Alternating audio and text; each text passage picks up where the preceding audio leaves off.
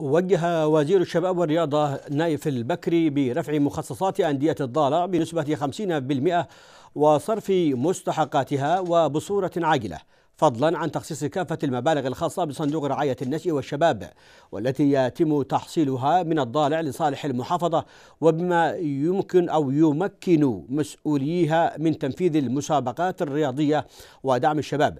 جاء ذلك خلال لقائه مع محافظ الضالع علي مقبل صالح لمناقشة أوضاع الشباب والرياضة ومشاريع البنى التحتية والأندية في المحافظة.